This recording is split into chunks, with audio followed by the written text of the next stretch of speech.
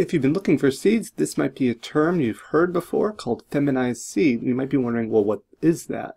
Well, feminized seeds referring to uh, cannabis seed in particular because it's producing male and female plants. And feminized seeds referring to the production of seeds that will only produce female plants, which is advantageous for those are the ones that are going to produce the buds and the cannabinoids that we are looking for. So the advantage is that uh, producing only female offspring instead of the 50-50 odds of male to female.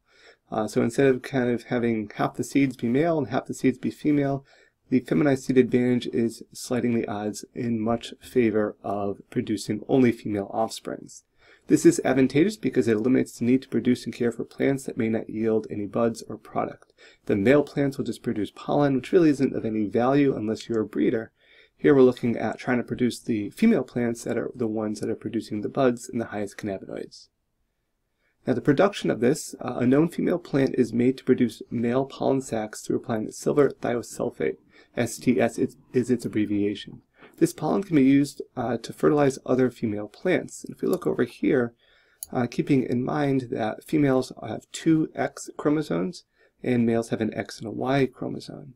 So because we're inducing male pollen sacs from a female plant, this pollen originally came from a female, so the chromosomes will be XX, resulting in near 100% female seeds produced uh, instead of the regular 50-50 male to female um, odds there. Again, the feminized seed advantage is by ensuring female plants from seed allows the lack of lost time growing a plant that will not produce a valuable product. And again, that valuable product would be the buds instead of the pollen. Now, if you're a breeder, you're looking for pollen, uh, not the best option for you, but for most people, feminized seed is an advantage. However, the disadvantage is that there's increased cost in most cases for the seeds, and the production of feminized seeds limits the genetic pool. So this creates an easy uh, plant and grow situation, but does not allow for refinement or selection. You're kind of locked into that set of genetics. Some feel it's unnatural uh, plant state changes the chemical profiles uh, by inducing that female production. Lastly, we have some research going on at UConn with Jess, Jessica Lubell, uh, is a UConn plant science professor, is looking at refining the feminized seed production technique. Recently published article, which I uh, link right down here for you, uh, entitled Favoring Female Flowers in Hemp Horticulture.